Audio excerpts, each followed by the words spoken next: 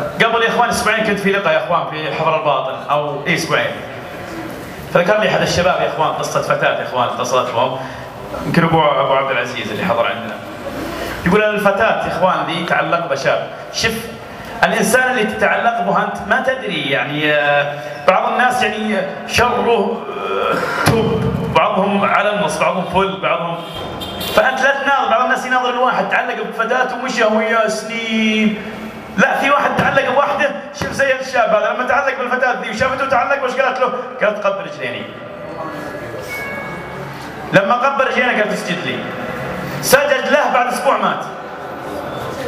أقسم بالله أنا اتصلت على الشاب تبكي. تقول أنا وش أسوي؟ مات الشاب. وأنا خليته يسجد لي.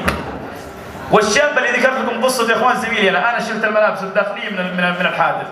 ميت طالع من عند فتاة. فلذلك دائما تصور أمك تصور أختك. وهذول خواتك ترى. هذول خواتك. الآن يا إخوان أسألكم بالله سؤال واحد.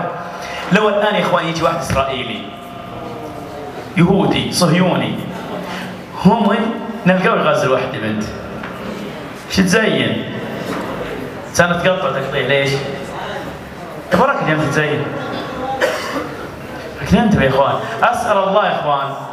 بمنه وجوده وكرمه أن يوفقنا وإياكم لما يحب ويرضى كما أسأل الله جل في علاه الذي أشكر الله عز وجل هيا لنا مثل هذا اللقاء ونشكر شيخنا وحبيبنا أبو فهد وأي واحد يا إخوان عنده مشكلة ولا شيء.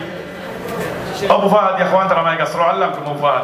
فهد يقول ما في ترى